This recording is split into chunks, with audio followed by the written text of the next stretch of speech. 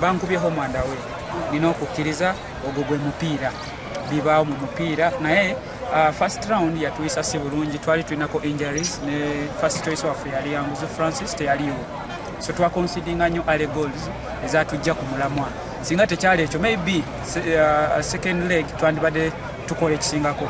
Naye kyenyinza okugamba nti this time tubadde tetulina injuries ezitwaffectins apart from abio ivan atabadde ndi musanyufu okubanga tugenze mu finals. Katulinde mukama kyatutegekedde naye tujja kulowooza ku ekyo omupiira gwa virago